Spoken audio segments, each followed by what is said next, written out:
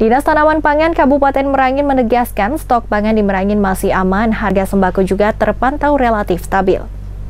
Setelah melewati bulan Ramadan dan memasuki Hari Raya Idul Fitri, berdasarkan pantauan pasar oleh tim Satgas Pangan Kebutuhan Pokok di Kabupaten Merangin masih terpantau aman. Kepala Dinas Tanaman Pangan Merangin Selamat Sudarsono mengatakan, sejauh ini tidak ada gejolak terkait harga dan kebutuhan pasar. Bahkan persediaan sejumlah kebutuhan pokok di gudang Bulog Subdivre Sarko masih aman.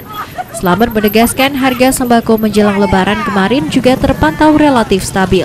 Tidak apa namanya, tidak uh, uh, tidak apa namanya, tidak galau, tidak resah karena semua kebutuhan sudah kita pantau cukup gitu.